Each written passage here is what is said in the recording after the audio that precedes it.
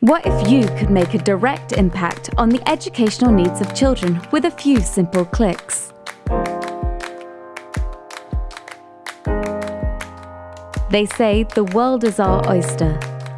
Today we travel far and wide for work and play, developing lasting memories and connections with the places we visit. But what if you want to give something back to those communities? And how do you find trusted local charities that make a real difference?